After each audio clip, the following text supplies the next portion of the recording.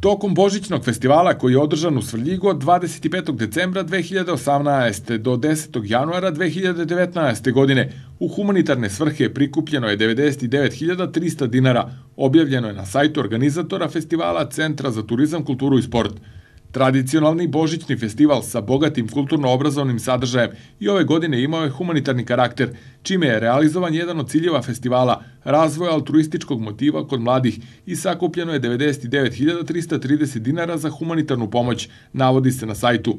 Namera je bila i da se pokrene čitava lokalna zajednica, pa su u organizaciji festivala, pored glavnog organizatora Centra za turizam, kulturu i sport Svrljig i Kancelarije za mlade, učestvovali i dali doprinos i predškolska ustanova Poletarac, osnovna škola Dobrila Stambolić, srednja škola Dušan Trivunac Dragoš, muzička škola Vladimir Đorđević pri Kulturnom centru, crkva Sveti car Konstantin i carica Jelena, udruženje građana Tera Inkognita, likovno udruženje Timakumus, Miljanova likovna radionica, izvorna grupa Derven, Kulturno-umetničko društvo Svrljig, Kulturno-umetničko društvo Beloinje, igraonica Divan Dan, Kafe Tref i Inkognito kafe.